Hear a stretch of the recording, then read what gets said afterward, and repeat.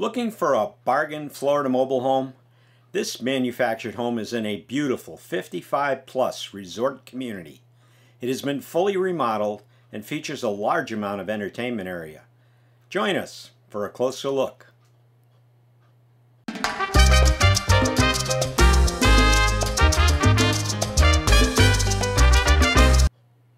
In this video, we will tour a bargain manufactured home in Village Green, a 55 plus Florida retirement community. There are many Florida mobile homes for sale, but what makes this one a bargain is the entire home was just remodeled. Swimming pools, tennis courts, and dozens of new friends await you. So if you are looking for an affordable entry into a resort Florida retirement community, then you are in the right place. Hello, I'm Russ Watson.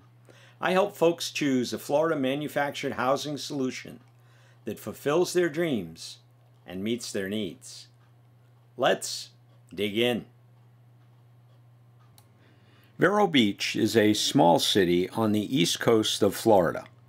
It is about 34 miles north to the city of Melbourne. It's 94 miles up to the resorts at Disney. Vero Beach has a small airport, but most air travel will be done from either Melbourne, West Palm Beach, or Orlando. There are dozens and dozens of restaurants from seafood to haute cuisine.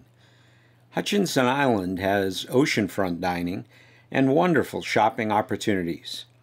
We have previously done a video on manufactured home communities in Vero Beach. I'll post the link above. There are many cultural opportunities. McKee Gardens holds regular events, as does the Vero Beach Museum of Art. Plays, comedy, and more are at the Riverside Theater Complex. Cleveland Clinic operates a large hospital there, and there are numerous facilities in the area covering most medical needs. Village Green is a land lease community with a little over 700 homes. It is located just west of the city limits. Indian River Square, Walmart Supercenter, Sam's Club, and much more provide nearby shopping. Village Green was developed in three phases, and each has their own clubhouse with a diverse mix of amenities. The facilities in each of the three villages are available to all residents. There are beautiful tennis courts tucked away in one corner of the facility. These resort communities offer incredible activities and almost non-stop activities. Maintaining these facilities does cost money, and not everyone can fit them in their budget. What's important to you in a community? Let me know in the comments. For help in choosing a community, I suggest you consider my book. The link is in the description below. Well, let's head into Village Green and see if we can find this place. The yards look nice and clean, and the lawns are well maintained. There's plenty of palm trees. If I'm living in a Florida community, that's one thing I want to see is a lot of palm trees. The homes look well maintained too. There are older homes as well as brand new homes available in this community, these homes in the cul-de-sac would be nice if you like privacy in your backyard. I get mail from folks who say these communities have too many rules. But it's in these communities that I see consistently well-maintained homes and beautifully groomed yards that make me want to say, hmm, I'd like to live here. This is a beautiful home with a full windowed front-facing Florida room. The unusual vertical siding gives it a unique look in the neighborhood. It features central air conditioning. The unit is a brand new one with a three-year warranty in place. The home sits on a highly coveted perimeter lot. The exterior has been freshly painted.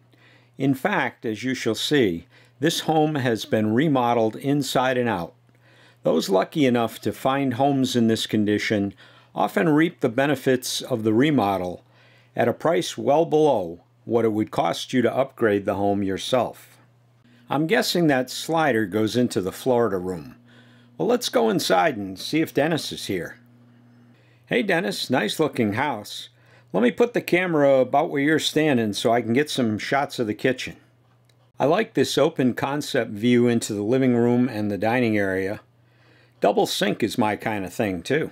Nice ceramic stovetop and oven combo. Nice window above the sink for some natural light. Stainless steel refrigerator. And just look at this serving island with all of these cabinets. Wow! Dennis, would you introduce yourself to the folks? Good afternoon. My name is Dennis Natoli. I work for Four Star Homes, Vero Beach office. And right now we are at 58 Sunset in Village Green. Dennis, this house looks like new. What all's been done here? We have, let me see, new subfloor, new laminate floors, new carpeting, painted inside, outside, new ceiling fans, new light fixtures, new air conditioning, new ductwork. The roof over is a I would call like a membrane roof that will probably last a lifetime. It's been recently resealed. There's just like nothing left to do to this house but move in. I love this glassed in Florida room. This house is set up really well for entertaining. There's just an amazing amount of storage between the kitchen and the dining room. Let's go look at the rest of the house. I like having both bedrooms on one side. If you and the boys are screaming at a football game, the wife can still take a nap. So here's the guest bedroom. This one's pretty good sized, large window for nice natural light. This would also be plenty big for a combination craft room and office. With a craft table under the window and a desk wrapped around the other side, you could still put a fold-out bed on the wall by the closet. And that's a nice large closet. Is this new carpeting? Carpet is brand new, and as well as the padding underneath it, quarter subfloor. Wow, three quarter inch plywood is pretty expensive these days. They really did it right. I see the guest bath is right across the hall.